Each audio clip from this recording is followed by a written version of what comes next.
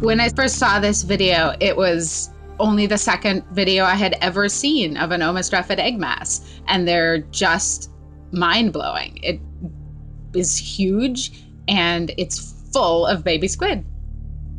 We know that uh, mama squid has these special glands in her body that make jelly, and that she mixes that jelly with her eggs in some way.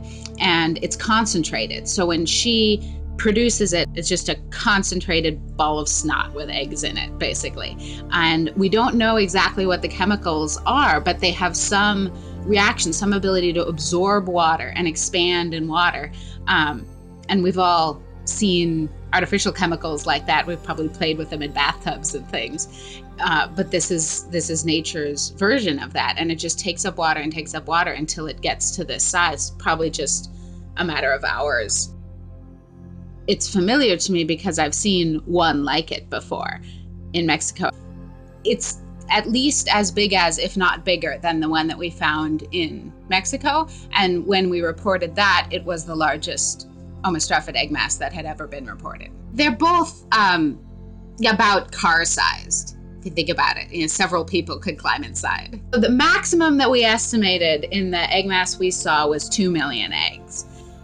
And if you've got that many eggs that need to develop, they all need to be able to breathe. The eggs need oxygen flowing around them. What she does is she puts them in this expanding jelly that spreads them out from each other so they're not too close together. The jelly itself is protective. It seems to protect the eggs from um, from infection from bacteria and probably from predators as well. It's almost completely water. It's very uh, very delicate matrix of protein of of mucus basically in water.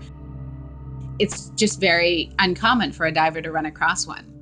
What's interesting is that masses themselves are probably not rare because the squid that make them are fairly abundant but they are so transient. They're so short-lived. They're only each one is only there for a few days. The eggs go from being laid to hatching in five days or six days or seven days and so as soon as that happens and they start hatching and swimming through the jelly it just disintegrates there's nothing there anymore and they swim themselves right out of it and then they're just loose in the ocean.